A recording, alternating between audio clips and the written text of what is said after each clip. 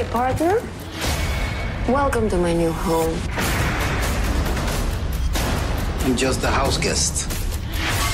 I can't stand breakfast. It's just constant eggs. My nose is bleeding. Why do rich people talk like children? I'd like you to apologize. Don't leave me alone. The only thing that makes you interesting is me.